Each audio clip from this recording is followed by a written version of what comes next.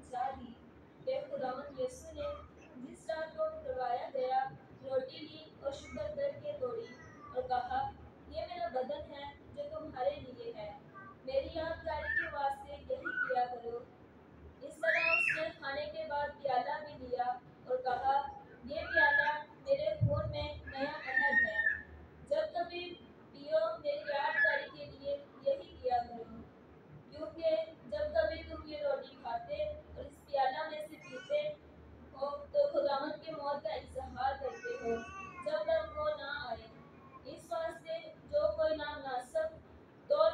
खुदावन की रोटी खाए, या उसके प्याले में से पिए, वो खुदावन के बदन और खून के बारे में कसूरवार होगा।